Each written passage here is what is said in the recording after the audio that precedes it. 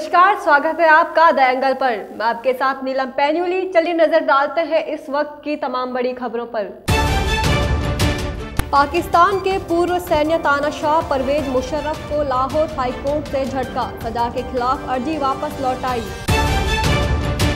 मन की बात में पीएम मोदी बोले, हमारे युवा अराजकता के खिलाफ, इनसे देश को बहुत उम्मीद। सीआरपीएफ के कार्यक्रम में बोले अमित शाह, आप देश की सुरक्षा कीजिए, परिवार की सुरक्षा हम करेंगे। हेमंत सोरेन बने झारखंड के ग्यारहवें मुख्यमंत्री, शपथ ग्रहण में राहुल ममता समेत कई विपक्षी नेता हुए शामिल। पाकिस्तान के पूर्व सैन्य तानाशाह परवेज मुशर्रफ की मुश्किलें बढ़ गई है। लाहौर उच्च न्यायालय ने उनके उस आवेदन को लौटा दिया है, जिसमें उन्होंने देशद्रोह के मामले में एक विशेष अदालत द्वारा सुनाई गई मौत की सजा को चुनौती दी थी।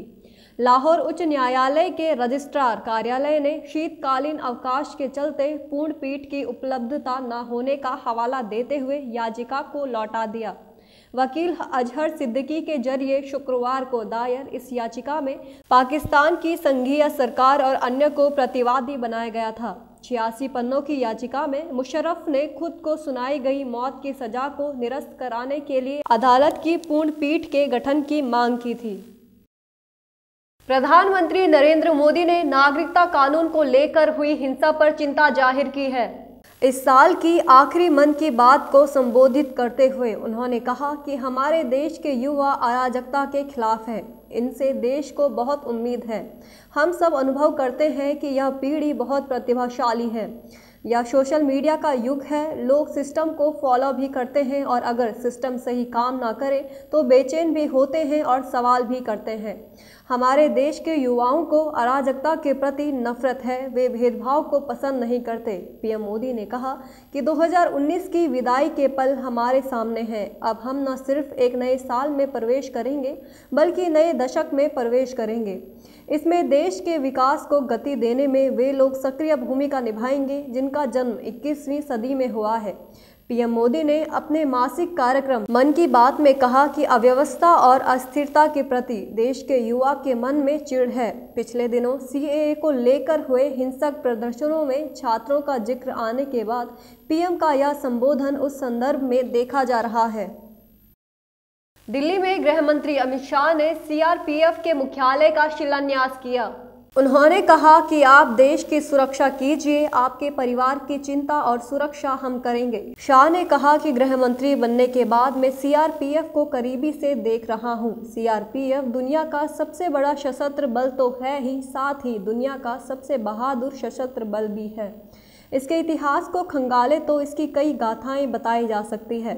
21 अक्टूबर उन्नीस सौ उनसठ को सीआरपीएफ के सिर्फ़ 10 जाबाजों ने ऑटोमेटिक हथियारों से लैस चीन की टुकड़ी का सामना किया और अपनी आहुति दी। इसीलिए 21 अक्टूबर को पुलिस स्मृति दिवस के रूप में मनाया जाता है। झारखंड मुक्ति मोर्चा के नेता हेमंत सोरेन ने झारखंड के ग्यारहवें मुख्यमंत्री के रूप में शपथ ले ली है। मंत्रिमंडल के सहयोगी के रूप में कांग्रेस के दो और राष्ट्रीय जनता दल के एक विधायक ने भी शपथ ली। इस कार्यक्रम में राहुल गांधी, पश्चिम बंगाल की मुख्यमंत्री ममता बनर्जी, छत्तीसगढ़ के मुख्यमंत्री भूपेश बघेल, राजस्थान के मुख्यमंत्री अशोक गहलोत, कांग्रेस नेता आरपीएन सिंह डीएमके प्रमुख स्टॉलिन, आरजेडी नेता तेजस्वी यादव समेत कई नेता मौजूद रहे। समारोह के दौरान सोरेन को राज्यपाल द्रौपदी मुर्मू ने पद और गोपनीयता की शपथ दिलाई।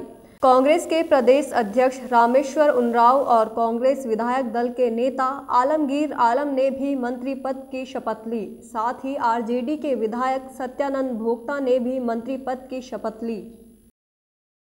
मध्य प्रदेश के पथेरिया से विधायक रमाबाई परिहार को बहुजन समाज पार्टी ने निष्कासित कर दिया है। मायावती ने ट्वीट कर कहा है कि बसपा अनुशासित पार्टी है, व इसे तोड़ने पर पार्टी के सांसदों और विधायकों आदि के विरुद्ध भी तुरंत कार्रवाई की जाती है। इसी क्रम में मध्य प्रदेश में पथेरिया से बसपा विधायक रमाबाई परिहार द्वारा नागरिकता संशोधन कानून का समर्थन करने पर उनको पार्टी से निलंबित कर दिया है। उन पर पार्टी कार्यक्रम में भाग लेने पर भी रोक लगा दी गई है। बता दें कि रमाबाई ने नागरिकता संशोधन कानून का समर्थन किया था। पार्टी ने उनके किसी भी कार्यक्रम में शामिल होने पर भी रोक लगा दी है। मध्य प्रदेश में कमलनाथ को सरकार बचाने के लिए बसपा विधायकों के समर्थन की ज़रूरत है। ऐसे में संभावना जताई जा रही है कि वे जल्द ही कांग्रेस में शामिल हो सकती हैं।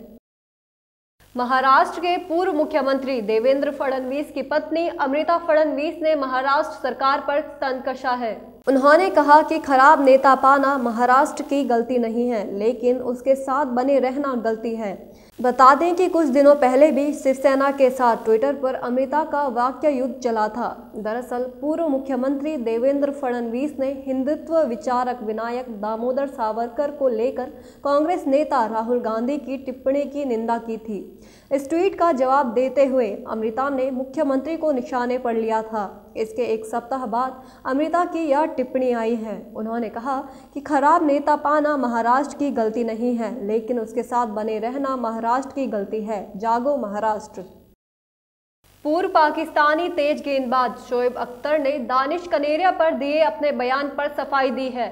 उन्होंने कहा है कि कनेरिया को लेकर दिए गए उनके बयान को पूरी तरह गलत समझा गया। अख्तर ने कहा कि उनके बयान की पूर्व लेग स्पिनर को उनके हिंदू धर्म से संबंध रखने के चलते कई लोग उन्हें टीम में नहीं देखना चाहते थे को पूरी तरह गलत समझा गया। उन्होंने कहा कि धार्मिक आधार पर किसी के साथ भेदभाव करना उनकी टीम का कल्चर नहीं है।